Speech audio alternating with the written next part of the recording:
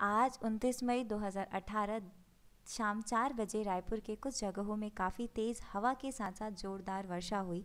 जैसा कि अभी चारों ओर गर्मी देखी जा रही है, रायपुर में भी रोज़ दिन में 40 से 45 डिग्री रिकॉर्ड किया जा रहा है तापमान। ऐसे भारी गर्मी में इस बारिश का होना लोगों के लिए काफ़ी राहतमंद हुआ। झुलसा देने वाली गर्मी के बाद यह बारिश राहत का एहसास लेकर आई। शाम का समय काफ़ी सुकून देने वाला रहा लोग घर से बाहर नज़र आए।